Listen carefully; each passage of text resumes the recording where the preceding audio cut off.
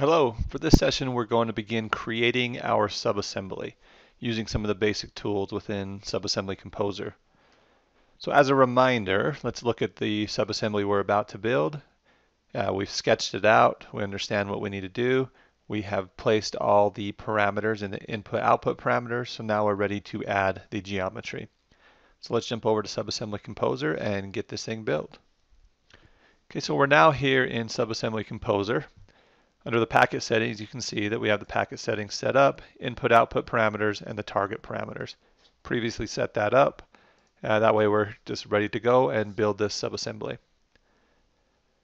So here on the left, we have our toolbox, geometry, advanced, advanced geometry, auxiliary, workflow, and miscellaneous. We're going to focus this first portion on the geometry, the three basic uses. So I'm going to take my point. This is going to be our starting point. I'm going to select it from the left. I'm just going to simply hold it, drag it, and drop it under start. It's going to give me a, a starting point, the origin point. Here on the properties, you can see now how that's populated.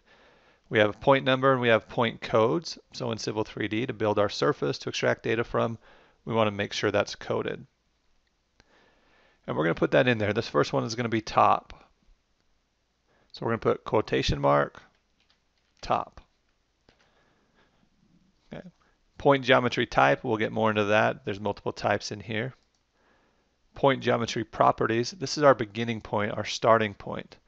And so we're going to leave this one as origin. We have a link.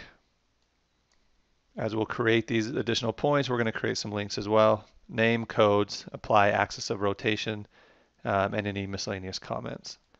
So the first thing you always want to do is you get that origin point or that starting point.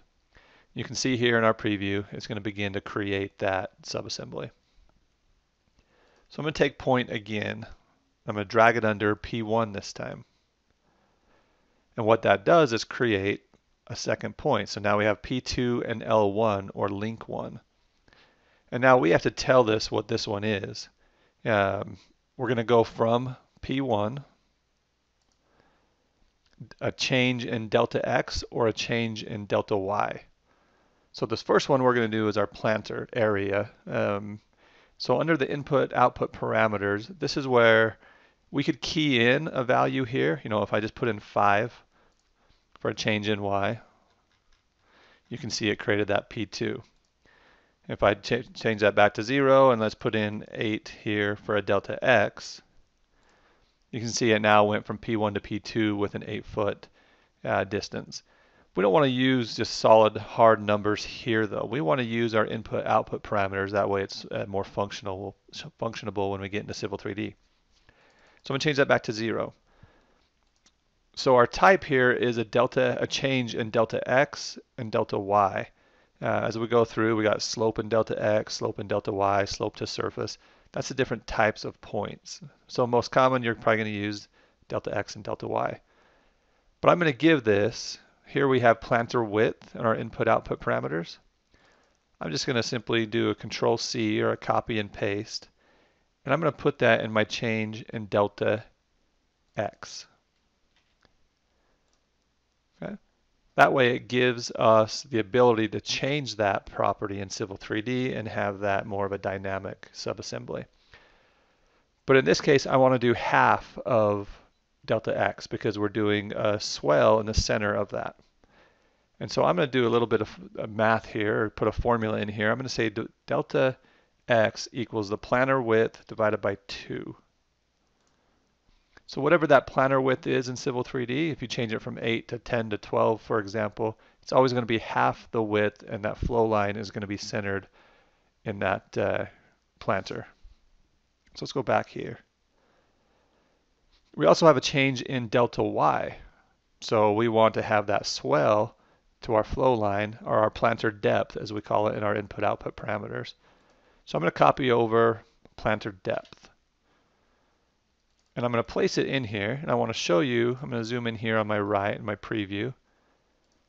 I'm going to just simply copy and paste uh, in the planter depth. In this case, though, you see how the planter depth increased, so it went up we want to make sure that in cases where we want to go down, we're going to do negative planter depth. That way in Civil 3D, when we put in three inches or six inches or a foot, it's going to go down instead of up. So negative planter depth. Okay. We can also add in a point code here. So I'm going to double code this. I'm going to say top and FL for flow line. If you do put in something and, and SubAssembly Composer doesn't like it, it's going to warn you. It's going to say the code is not valid, valid or you put it in improperly. What you have to do here, you see how I put both in quotes? You have to put each individual one in a quotation. Okay. So now we're good. So all I did was top quotation with a space between them, flow line. So I can double code that point. And same thing with the link. I could add a link here of, now let's call it planter. Okay, so let's continue on. Let's add our additional point here. Always got to remember the quotations. So now we're going to go to P3. P3 is going to be very similar to P2. So let's call that top. And what we're going to put in here is we're going to change in delta x. So again, we're going to have our planter width. Copy and paste it. Divided by 2. Now our delta y, which is going to be our planter depth again. And this one I'm going to leave positive because it's going to go back up. Okay, so you can see that swell being created. Let's continue on now. Let's put our sidewalk in. So we're going to be working with a lot of points on this initial one. So I'm going to grab my point, drag and drop it. P4. P4 is going to be sidewalk, so I'm just going to, we'll just call it sidewalk or top, maybe both. Delta X is going to be sidewalk width.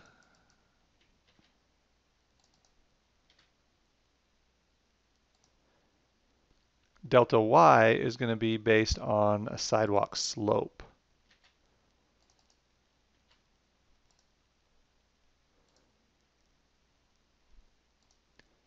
Okay, so we've got a change sidewalk width, so our default value of 5, and a change in the y of the sidewalk slope, so at 2%. Code, we're going to call this, uh, we'll call it concrete for our link. And we'll just keep moving on here.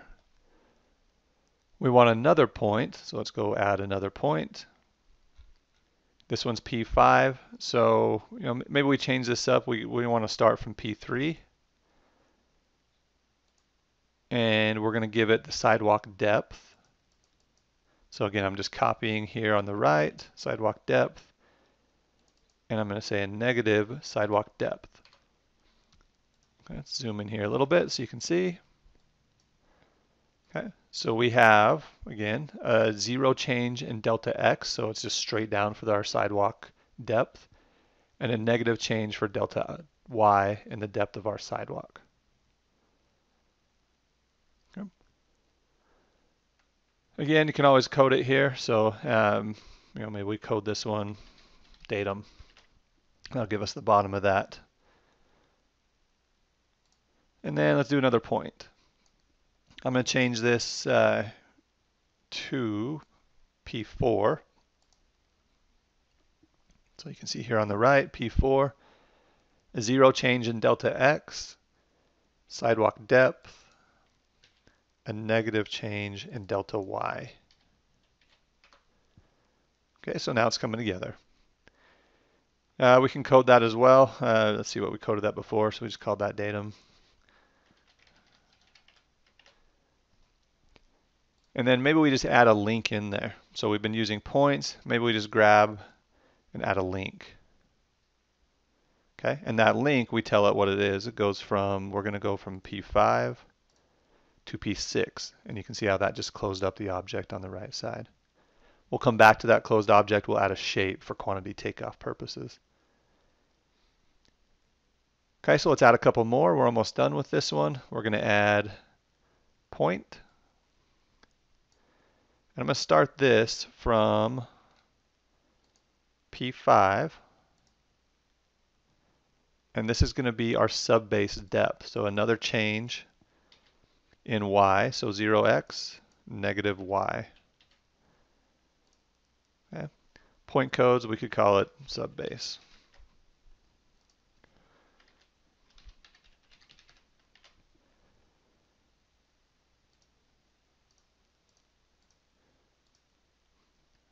Back to that. You'll see here how it's not linked P5 to P6, P7. If you do see that, there's a simple add link to point, and it's going to add that link in, and you can code that link as well. Okay, so if it doesn't do it for you, two ways. Automatically have it, add link from point, which is the easiest way, or add a link uh, using the geometry tools in Subassembly Composer. Okay, so we're going to add another link here. We're going to go this time from P6. In the same fashion, we're going to do a negative subbase depth. Perfect. Let's add our link in there. We're almost done here. And you can reorganize these as we get down to some more advanced videos. We're going to look at different ways of organizing our flowchart. If you can imagine, you know, a hundred different codes in here could get pretty interesting. So we are going to look at ways to manage that flowchart and that subassembly better. So we added that link and it's going to go from P7 to P8. Uh, link code, we'll call it subbase or you know maybe it's bottom subbase. Okay. Almost done, just a couple more items here on this first subassembly. We're going to add another point and it's going to be a delta change in X and Y. Point code, let's call it top. Uh, delta X is going to be our back of walk um, or a boulevard width behind the back of walk. So we're going to change that in delta X.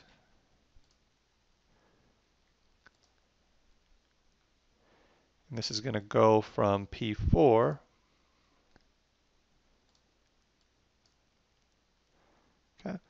And again, we could either create uh, a link to it or let's just make sure we have selected our link.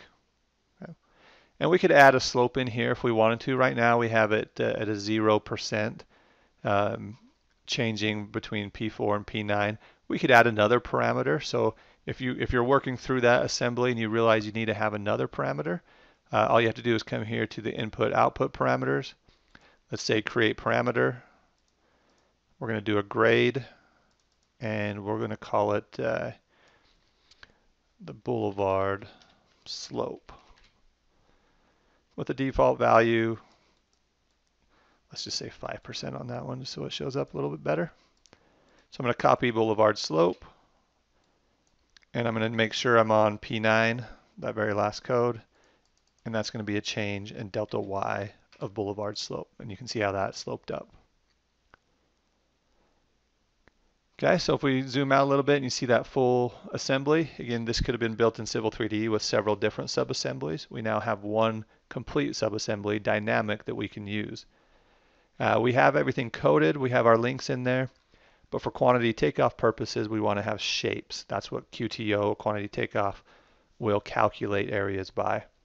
So here under geometry, we've used point, we've used link, we now want to use shape. So I'm going to grab that and I'm going to drag it down here below P9. It's going to give us a little warning symbol for just a moment. Here under the shape code, the first one we're going to do is, is the sidewalk or concrete. So I'm going to call it concrete. Okay. We can either choose to select the links, add them all individually, or this green icon here allows me to select the shape and as I hover over it, you can see how it identifies a closed object. So I'm going to pick that top one. And it's now concrete. One more shape. This one we're going to call subbase. Add that shape and pick the subbase. Okay. So all within a matter of minutes, we, we had our input-output parameters set up we have created our first subassembly, fairly basic subassembly built out of points, links, and shapes. but it's now fully functionable, can be brought into Civil 3D, utilized in Civil 3D. Um, so we're going to look at a couple additional ones uh, coming up with uh, some more advanced geometry, utilizing some of the advanced geometry, and then we'll get into more detailed ways of utilizing the workflow and flowcharts and so forth.